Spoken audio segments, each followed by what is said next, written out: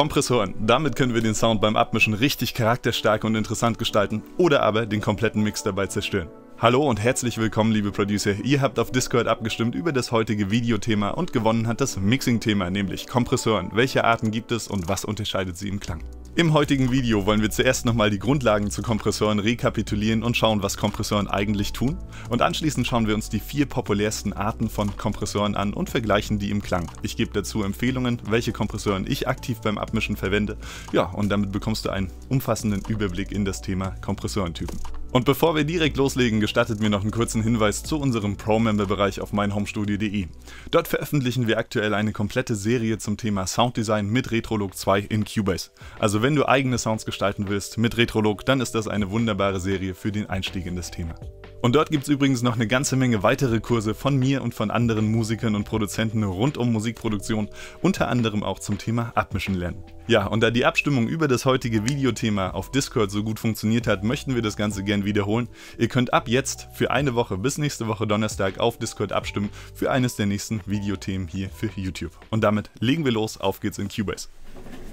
Ich starte heute mit einem Cubase-Projekt, das wir in unserem letzten Livestream hier auf YouTube produziert haben. Klingt so. Hab das alles schon gesehen. Doch heute fühlt sich's heller an. Ich staun, was sich verändern kann. Wir schaffen neue Perspektiven. Dieses Projekt ist nicht abgemischt und ich habe hier tatsächlich alle Kompressoren aus den bestehenden Instrumenten entfernt und viele davon sind auch live eingespielt, also eine wunderbare Situation, um uns Kompressoren hier drauf anzuhören. Okay, rekapitulieren wir nochmal für alle, die sich vielleicht mit Kompressoren noch nicht so auseinandergesetzt haben. Was genau tut denn ein Kompressor? Wie arbeitet denn ein Kompressor? Ich schalte mir mal die Funk Drums hier oben solo und lade hier mal von Fabfilter den Pro C2 drauf. Ja, hier können wir sehen, wie das Signal unserer Funkdrums durch den Kompressor durchläuft und dabei komprimiert wird. Das bedeutet, dass es insgesamt ein Stückchen zusammengedrückt wird, die Dynamik wird eingeschränkt, damit wird es insgesamt ein bisschen dichter, klingt vielleicht auch ein bisschen druckvoller und wir können es insgesamt im Mix dadurch lauter machen.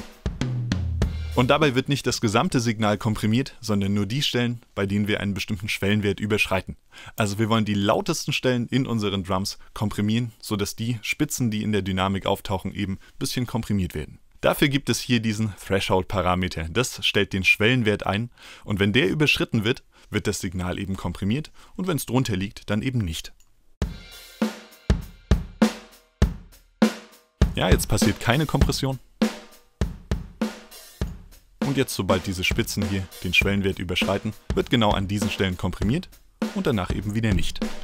Und jede Stelle im Signal, bei der dieser Schwellenwert überschritten wird, wird in einem bestimmten Verhältnis komprimiert in einem Ratio auf Englisch. Das steht bei mir aktuell hier bei 4 zu 1. Das bedeutet, alles, was lauter ist als mein Schwellenwert, wird mit 4 zu 1 Verhältnis komprimiert. Wir können diesen Schwellenwert einstellen von 1 zu 1, bedeutet gar keine Kompression, bis zu unendlich zu 1 wird hier als 100 zu 1 dargestellt, ist also dann so starke Kompression, dass alles, was über dem Schwellenwert liegt, quasi glatt gemacht wird.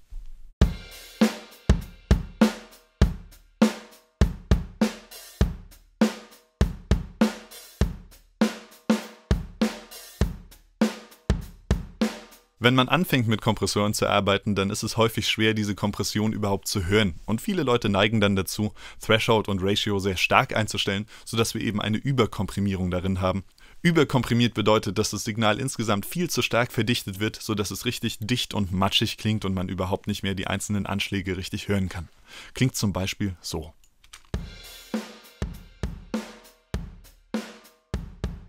Ja, die Drums klingen dann also richtig drückend, es wirkt insgesamt matschig und es ist nicht mehr so definierbar, wie genau die verschiedenen Anschläge hier der Drum Sounds eigentlich klingen sollen. Deshalb ist beim Arbeiten mit Kompressoren oft weniger mehr und wir arbeiten lieber mit sanften Threshold-Einstellungen. Aber, dass wir mit den Kompressoren die Dynamik einschränken wollen und das Signal verdichten, war nur die halbe Wahrheit. Ganz, ganz wesentlich ist nämlich auch, wann genau komprimiert wird, also wann die Kompression einsetzt und wie sie wieder loslässt. Das gestaltet ganz, ganz viel am Klang von Kompressoren und wir haben dafür auf der rechten Seite hier die beiden ähm, Regler für Attack und Release zur Verfügung. Stellen wir uns vor, da kommt so ein lauter Kickdrum-Anschlag des Weges und überschreitet hier unseren Schwellenwert.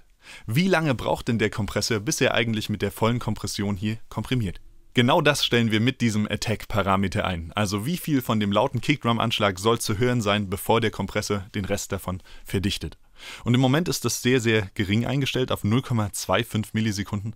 Aber wenn wir hier ein bisschen mehr durchlassen, werden wir hören, dass wir mehr von den Transienten mitbekommen. Transienten sind also genau dieses Anschlaggeräusch, das wir hier beim Überschreiten des Schwellenwerts erhalten wollen.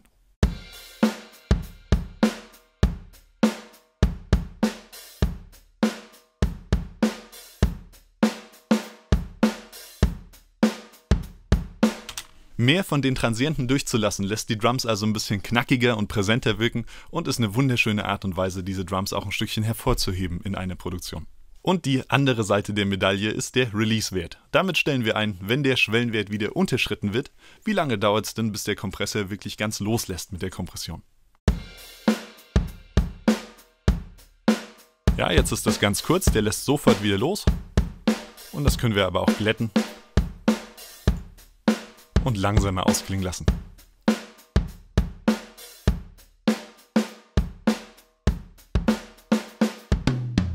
Also, mit diesen beiden Parametern Attack und Release lässt sich ganz, ganz viel in dem Sound der Kompression gestalten.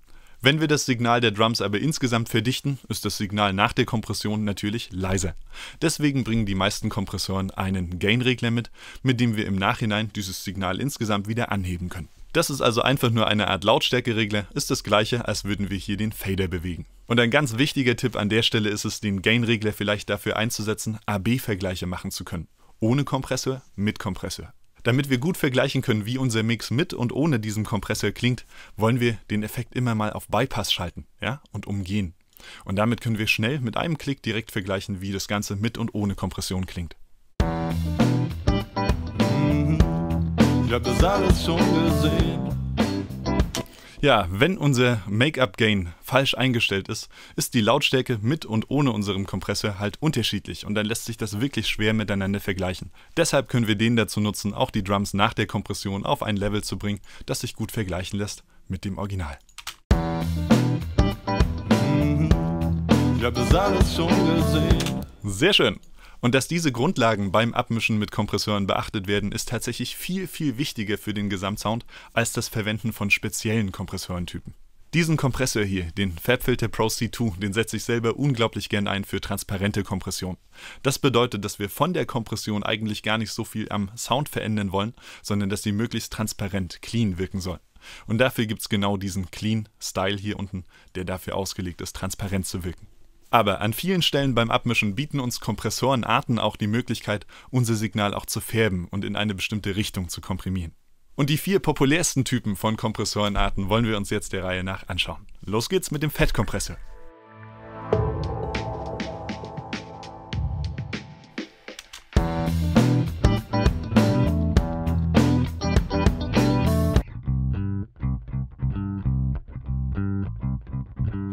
Ja, FET oder FET-Kompressoren stehen in ihrer Abkürzung für Feldeffekt-Transistoren. Und dieses Plugin CLA76 ist eine Emulation des wohl berühmtesten FET-Kompressors, nämlich des 1176ers.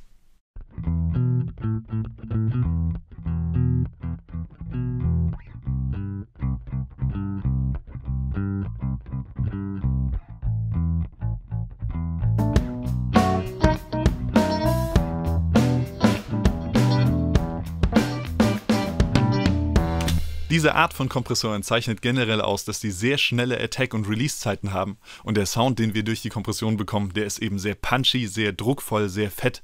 Diese Art Kompression ist also im Mix sehr auffällig, lässt Sounds sehr präsent wirken und gibt denen auf jeden Fall Gewicht. Ja, und deswegen wird diese Kompressionsart auch sehr häufig für Parallelkompression verwendet. Wenn wir eben nicht ganz so viel von diesem Gewicht hinzugeben wollen, ist es manchmal auch sinnvoll, diesen Kompressor nur auf einem Sendeffektkanal zuzumischen, damit eben nicht 100% davon zu hören ist. Ganz besonders passt der zu Spuren, die im Mix am Ende weit vorn stehen sollen und die Gewicht bekommen sollen. Zum Beispiel Drums, Bass, Gitarre oder Vocals. Damit lassen sich Signale also wunderschön färben und es lässt sich ganz viel Charakter dazugeben. Eine Sache, die man hierbei unbedingt wissen sollte, ist, dass Attack und Release in der hohen Einstellung, also auf der 7, ähm, tatsächlich in dem Fall ganz kurz sind. Also rechts ist kurzes Attack und Release, links langes Attack und Release. Wenn wir diese Parameter beim Abmischen einstellen, ist es oft eine gute Idee, mit einem langen Attack und kurzen Release zu starten und Attack dann Schritt für Schritt so zu regeln, dass es vom Sound her gefällt.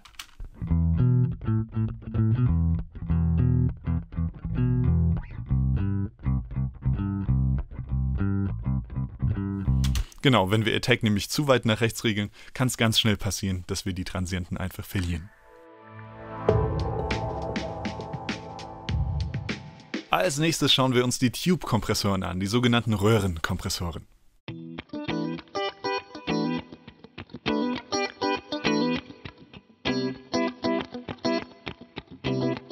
Bei echten Röhrenkompressoren, wie zum Beispiel dem legendären Fairchild 670, wird die Kompression durch Elektronenröhren in der Schaltung gesteuert. Und solche Röhren reagieren deutlich langsamer auf das Signal als zum Beispiel beim Fettkompressor.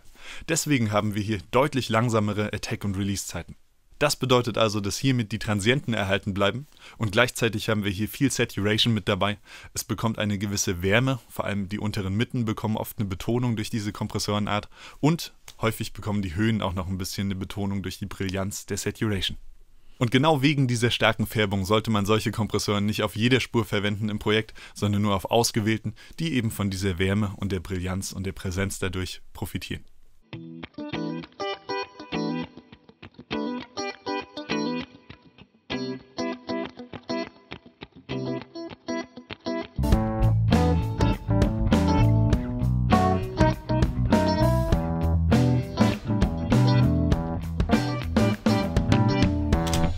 Also zum Beispiel auf Vocalspuren oder auf Gitarren oder auch auf Busspuren lässt sich diese Kompressorenart wunderschön zum Glätten und zum Hinzufügen von Wärme einsetzen. Die sind wunderschön dafür geeignet, um den Sound abzurunden, um ihn glatter zu gestalten und er wirkt einfach voller, vollkommener dadurch, wie ein bisschen glatt poliert.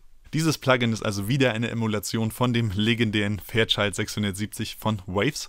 Und ähm, an der Stelle möchte ich aber auch sagen, wenn ihr euch solche Plugins auch nicht kaufen oder leisten möchtet, ihr habt in Cubase unterschiedliche Kompressorentypen auch drin. Zum Beispiel ähm, gibt es den Tube-Kompressor, der hier fest in Cubase mit dabei ist, auch in den kleinen Versionen. Das ist also eine schöne Alternative, die gleich in Cubase mit dabei ist. Und hier gibt es unter anderem auch den Vintage-Kompressor. Und das ist dann ebenfalls ein Fettkompressor, also den ersten Typ, den wir uns hier angeschaut hatten, ähm, würde das hier emulieren.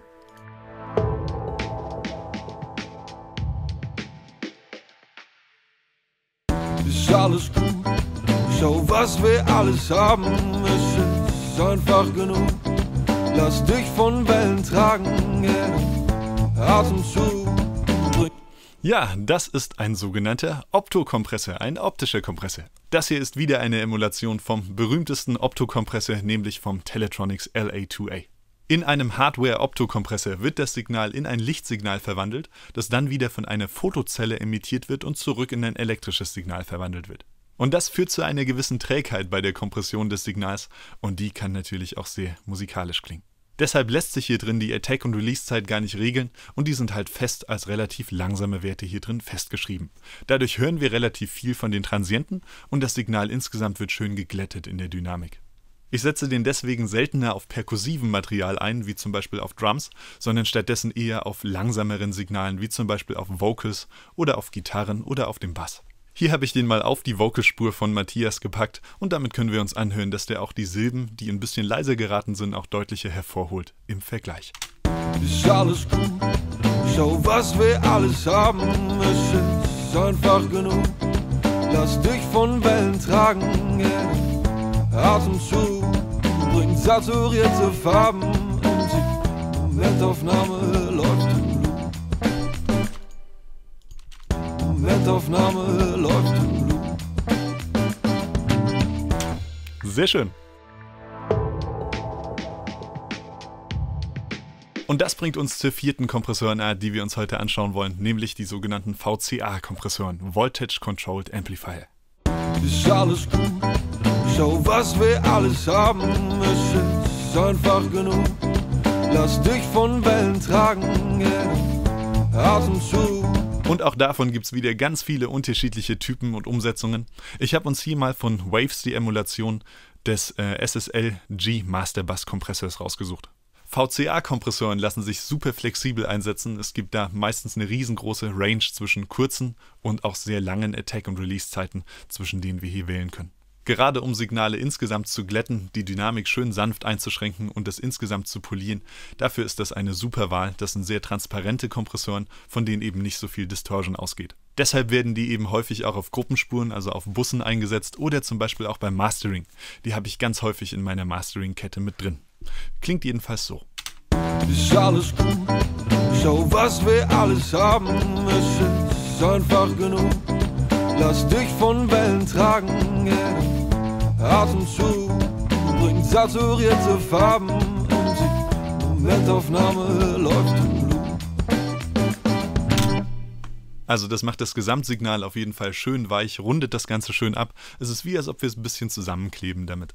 Und da häufig von den VCA-Kompressoren nicht ganz so viel Färbung oder äh, Character kommt, werden die eben ganz häufig auch mit anderen Kompressoren gemeinsam verwendet, so dass wir zum Beispiel zuerst den 1176er einsetzen und danach hier in so einen ähm, VCA-Kompressor gehen. Und das Kombinieren von Kompressoren bringt mich an der Stelle noch auf einen Workflow-Tipp, den ich euch an der Stelle gerne noch mitgeben möchte. Wenn wir Kompressoren dafür einsetzen wollen, die Dynamik einzuschränken, ist oft eine gute Idee, vorher mal ins Signal selbst zu schauen und zu schauen, ob wir hier vielleicht mit einer Lautstärke-Automation erstmal die Dynamik selber manuell einschränken können.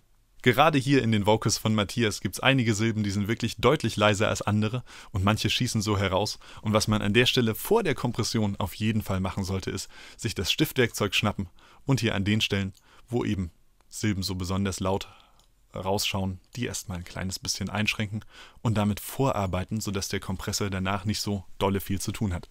Wenn das Signal nämlich zu dynamisch in die Kompressoren reingeht, dann gibt es eben Stellen, wo wir automatisch schon überkomprimieren, einfach weil der Pegel so hoch ist, mit dem wir an manchen Stellen da reingehen, um an den anderen auch komprimieren zu können.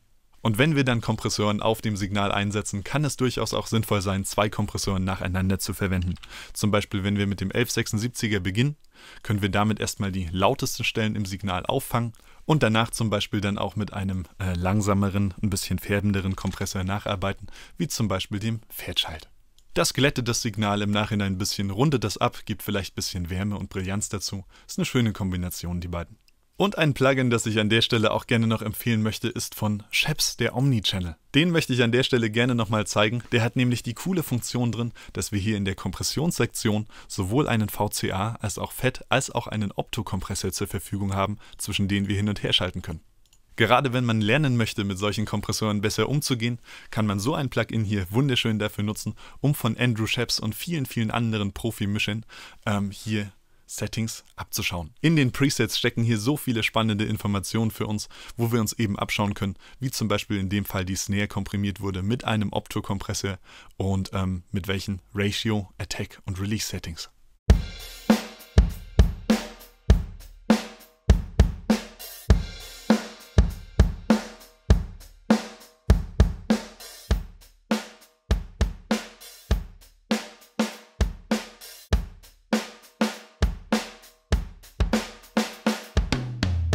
Gibt uns also einen schnellen Eindruck davon, dass auch die unterschiedlichen Kompressionstypen durchaus auch alle auf Drums verwendet werden können, aber eben zu unterschiedlichen Ergebnissen im Sound führen.